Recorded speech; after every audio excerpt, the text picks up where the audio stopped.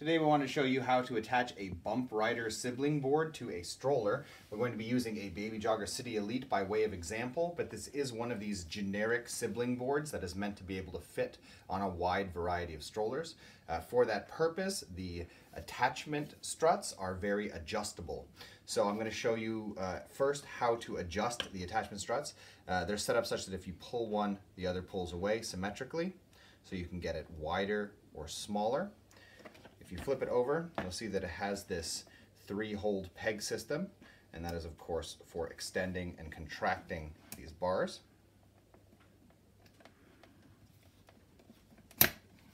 As such. And then the third mode of adjustment has to do with keeping the board flat.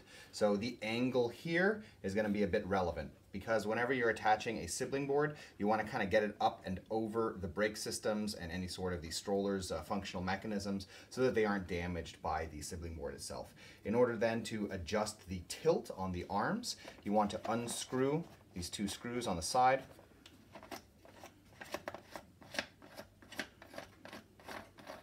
and this will pull out a little gear wheel. You can see the teeth from uh, its corresponding gears inside here. Now you can adjust this tilt to wherever you would like and then uh, find your proper position. So on this stroller, for example, I'm going to attach it here, which is above the brake system and above the uh, mechanisms for locking the wheels in place. And so it would be something like this. Now the board is flat, and then I'm just gonna screw these back into place.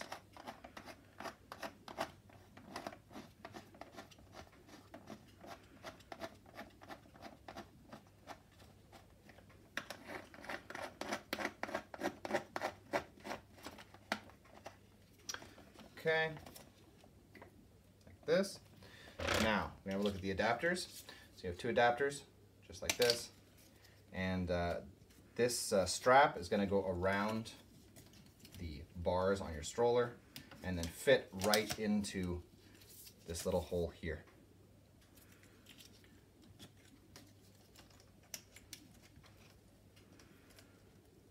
At which point goes in here, yeah? So in order to feed it through, you have to open up the clip like this. Then you can feed it to where you want it and then reclip it in place.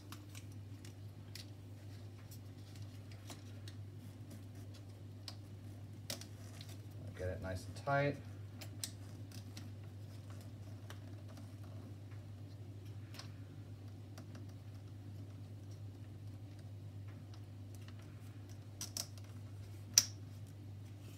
Back into place.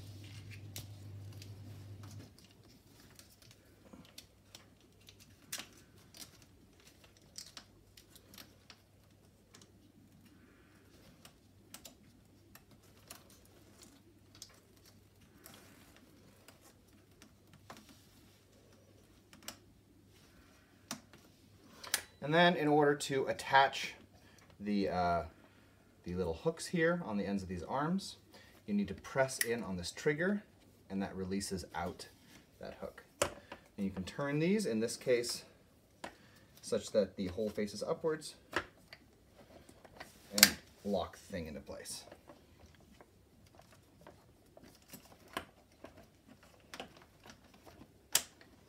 And then once you have the board all set, you can make whatever other sorts of minor adjustments you feel are necessary.